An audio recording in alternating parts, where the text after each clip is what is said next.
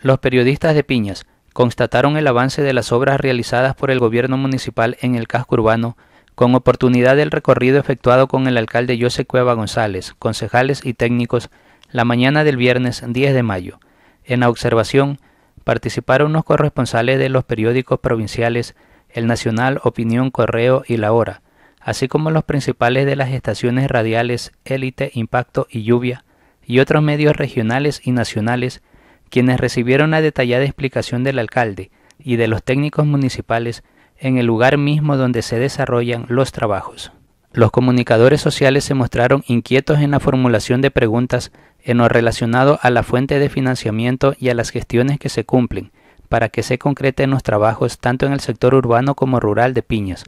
y el alcalde de manera pormenorizada destacó la ayuda primero de la comunidad, así como del señor presidente de la República, economista Rafael Correa Delgado, de varios ministros de Estado, al señor prefecto del Oro, ingeniero Montgomery Sánchez Reyes, y de instituciones como el Banco del Estado, Plan Binacional y otros que están permitiendo atender poco a poco, pero responsablemente, las urgentes necesidades de la población, tarea que continuará en el futuro.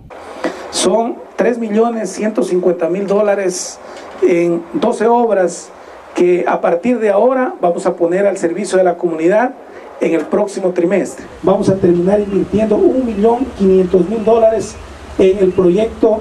de mejoramiento integral de la ciudadela El Cisne, adyacente al cementerio municipal. Ahí se ha cambiado prácticamente una gran parte del sistema de agua potable, se ha cambiado una gran parte del sistema de alcantarillado sanitario, se ha complementado un sinnúmero de embaulados, embovedados tipo cajón, se han construido muros de contención, se están construyendo escalinatas, bordillos, cunetas, aceras, pavimento rígido, es decir, hormigón armado en la calle principal que nos une con la vía que va desde Lourdes a las antenas y por primera vez en Piñas, inclusive de primera calidad, estamos colocando, como ustedes lo han podido constatar en esta mañana, adoquinado de primera calidad en todas las calles transversales de la ciudadela y se continuará con este trabajo que culminará en los próximos dos meses habrá un parque, el cerramiento al cementerio se lo está adecentando. De la misma manera, de forma emergente hemos conseguido el apoyo de 600 mil, con obras por 700 mil dólares ahora ya. Son ocho obras emergentes, construcción de canal de drenaje en la vía Camal Portete, construcción de muros de contención en la ciudad de 12 de octubre, muro de protección de talón en la calle 8 de noviembre y Zaruma, construcción de un tramo de colector en la quebrada de la Florida 2, construcción de un tramo de colector en la quebrada de la Florida, construcción de un tramo de colector en la quebrada Piñas Grande, los cuales permiten solucionar en diferentes sectores, en ocho sectores diferentes, favorecer a diferentes familias que han sufrido percances y han sido afectados por las diferentes estaciones invernales.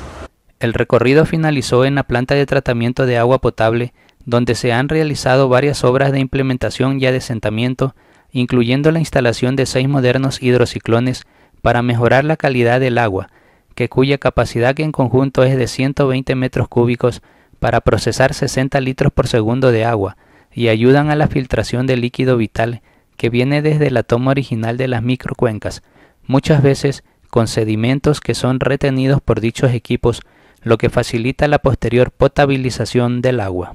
Hemos pensado, decía, primero en el agua potable. Son obras que no se ven, pero que se sienten en la salud y en el bienestar de la ciudadanía hemos trabajado también en el sector rural y se está entregando la primera y nueva, moderna planta de agua potable para la parroquia Piedras, para la legendaria Piedras, con un sistema completo de distribución para cada uno de los sectores domiciliarios. El alcalde de Piñas ratificó su confianza en el trabajo cumplido por los corresponsales y por quienes trabajan en los distintos medios de comunicación local y provincial, así como en todos los sectores, y dijo que conjuntamente con los concejales seguirá trabajando con el mismo entusiasmo con que empezó la presente administración municipal.